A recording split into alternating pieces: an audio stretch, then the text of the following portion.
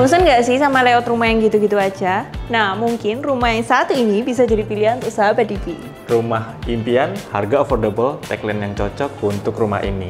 Nah, benar banget. Rumah lebar 8 ini punya layout yang maksimal banget. Penasaran? Yuk kita langsung mulai aja turnya. Let's go!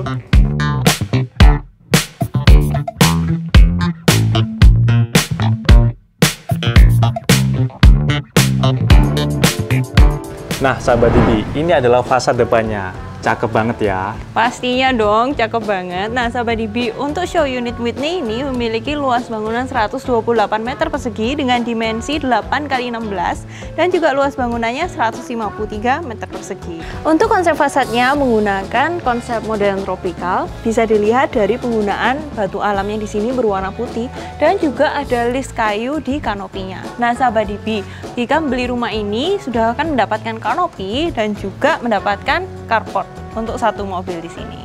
Gak lupa juga, karena ini tropis ya Michelle, jadi ada terdapat taman depan yang cantik banget dan juga welcome area yang unik. Oh ya, buat sahabat DB yang belum download DB Deals, bisa langsung download di App Store dan juga Play Store untuk cari rumah idaman kalian ya. Yuk kita masuk ke dalam.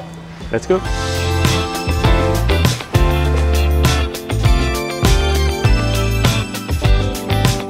Nah, ini dia welcome areanya. Bagus banget ya. Nah, sahabat DP ini ala-ala tropis gimana gitu ya. Lihat nih, pintunya artistik dan juga ada lubang-lubangnya. Jadi, memudahkan untuk perputaran udara masuk ke area ini juga. Betul banget. Dan di sebelah sini terdapat taman yang cantik banget dan ini bisa dijadikan uh, ruang tamu jika kalian tidak mau masuk ke dalam rumah. Nah iya, proper banget ya. Betul. Soalnya di sini space-nya juga lumayan, sahabat mm -hmm, mm -hmm dan nggak perlu masuk. Nah, sekarang kita langsung aja masuk ke dalam rumahnya. Let's go!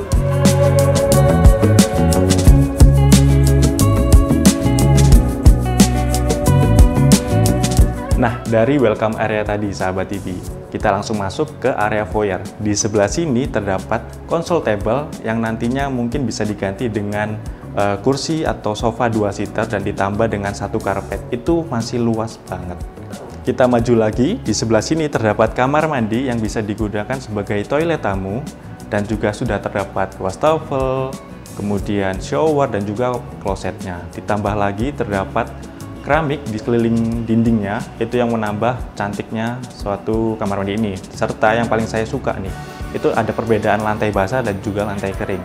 Sehingga ketika kita mandi, itu tidak akan airnya ke mana-mana karena terpisah dengan adanya tempered glass di dalamnya. Dan di lantai satu ini terdapat satu kamar tidur yang bisa difungsikan sebagai kamar tamu atau kamar tidur orang tua.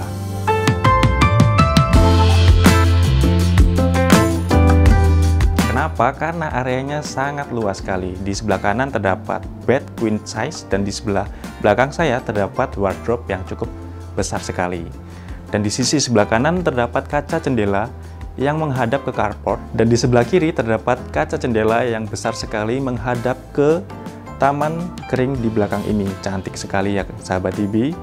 Nah, kita langsung saja ke area selanjutnya. Nah, sahabat DB, kita lanjut lagi ke area berikutnya itu living dan dining. Tapi nih, sebelum Michelle bahas area living dan dining ya, sahabat DB lihat dulu nih, area di sini ini terang banget. Kenapa ya kira-kira?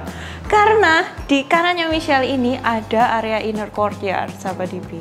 Area inner courtyard ini berada di tengah rumah, jadi dia bisa memberikan cahaya ke ruang tidur tadi, ke area dining room, living room, bahkan sampai ke kitchennya nih sahabat DB.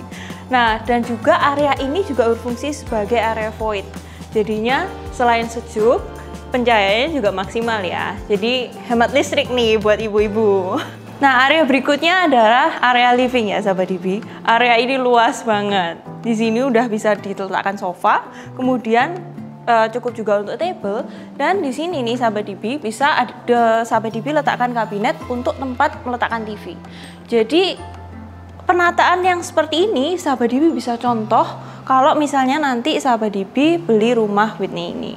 Kita lanjut ke area diningnya nih, sahabat Dibi. Wow, ini benar-benar kesan tropisnya dimasukkan di dalam rumah, tapi dibungkus dan dikemas dengan kesan yang sangat mewah dan elegan banget nih sahabat Dibi. Seperti sahabat Dibi bisa lihat di sini nih, untuk fungsionalitasnya ini ada meja dengan 6 seater. Kemudian di atasnya diletakkan pendant light yang mewah banget. Tidak lupa juga di area sini tetap dikasihkan kaca nih sahabat DB. Kenapa kok diberikan kaca? Untuk menambah kesan supaya area yang udah luas ini terlihat lebih luas lagi. Kemudian di sisi kiri dan kanannya juga ada permainan menggunakan aksen kayu, sahabat DB. Jadi wow, kesan elegannya, cantiknya dapat banget ya. It's sahabat DB. Di sini masih ada uh, area yang digunakan untuk gudang dan posisinya berada di bawah tangga ya. Kita langsung lanjut yuk ke arah kitchennya. Wah,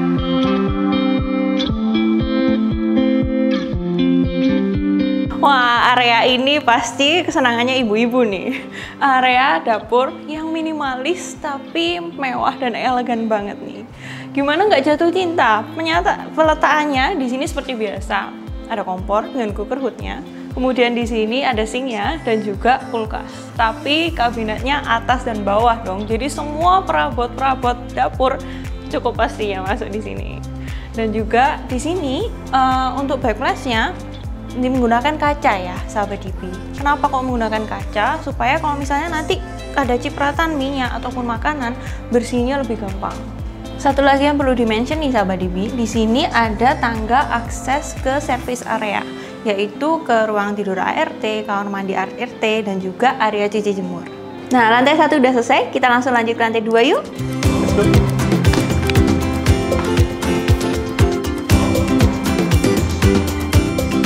Ini adalah lantai duanya sahabat TV. Di sini bisa digunakan sebagai ruang hobi atau ini living room gitu ya. Jadi bisa lebih private di lantai duanya.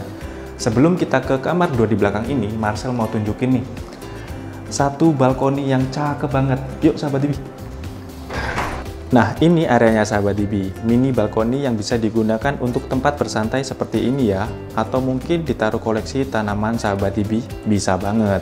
Dan ini enak banget, temboknya tinggi. Jadi kalau misal ada tetangga gitu ya, pastinya privacy terjaga dan aman. Sekarang kita lihat kamar tidurnya yuk.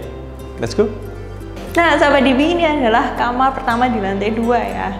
Dan area ini luas, lega banget sahabat Dibi. Cocok banget untuk dijadikan uh, kamarnya anak. Sahabat Dibi, di sini nih pencahayaannya ada pencahayaan alami juga dari jendela besar yang ada di sini. Eits, masih ada lagi. Kamar ini dilengkapi juga dengan ensuite bathroom loh. Jarang banget kan kamar anak ada ensuite bathroomnya. Udah lengkap dengan shower, wastafel, dan juga closet. Yuk kita langsung lanjut aja ke master bedroomnya.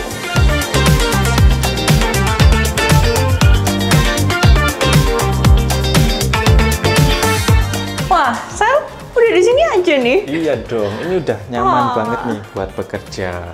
Iya ya, begitu masuk kita langsung disambut di working area kayak gini. Jadi kalau misalnya kerja bisa langsung di dalam kamar ya. Betul, dan nggak perlu keluar kamar atau ruang terpisah.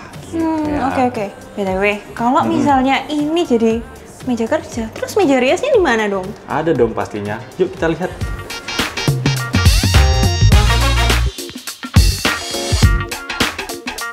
Lah ini dia meja riasnya yang jadi satu dengan wall-in closetnya.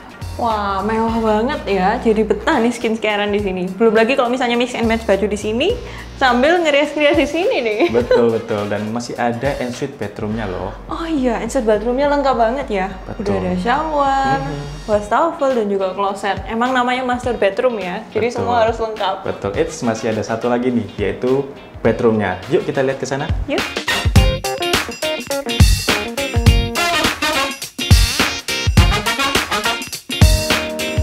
Ini dia master bedroomnya Michelle.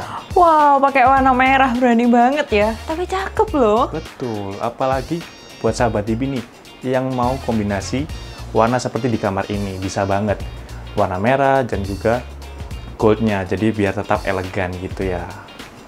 Iya nih sahabat Dibi, ini ada warna krim seret di sini, kemudian ada permainan warna sedikit, warna coklat, dan seperti yang disebut Marcel tadi ada hitam dan putih, dan juga di sini masih ada warna brick red dan juga masih ada warna sedikit-sedikit gold list-list gold di ruangan ini jadi kesannya oriental, earthy gitu banget ya Marcel ya. Betul. Nah, di area bedroom ini muat untuk diletakkan queen size bed. Kemudian di sini masih ada space nih sahabat DP untuk bisa meletakkan kursi baca seperti ini. Dan di sini masih juga bisa ditambahkan ambalan yang sahabat DP bisa gunakan untuk tempat meletakkan TV. Dan masih ada juga jendela di sebelah kanan dan juga kiri master bedroom ini yang menjadi terang di pagi hingga sore hari sahabat DB. Di depan ini terdapat balkon yang sangat luas sahabat DB. Kalian bisa lihat sendiri, ini sangat panjang ke arah sebelah kiri sana. Nah, gimana Michelle? Luas banget ya? Wah iya nih, panjang banget nih ya balkonnya. Betul, betul. Dan di sekitar ini nyaman banget ya. Gimana sahabat DB rumah ini? Bagus banget kan? Nah iya loh sahabat DB, rumah ini bener-bener bestil banget.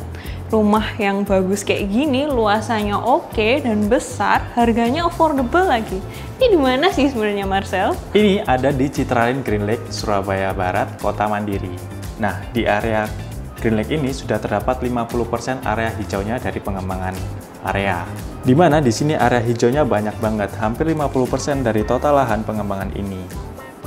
Dan tentu juga ada fasilitas seperti lake, clubhouse, commercial area, child playground, dan masih banyak lagi. Ngomongin affordable, rumah ini start from 2 eman aja.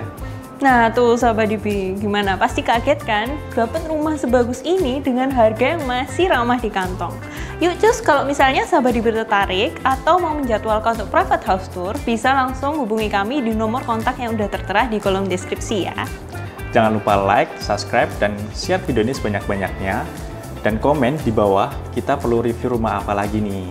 Jangan lupa juga follow kami di Instagram di db.ray untuk informasi properti yang terupdate dan juga follow kami di TikTok di db underscore ray. Di video selanjutnya, saya Marcel. Dan saya Michelle, DB Real Estate Indonesia, deliver the best property for you. See you!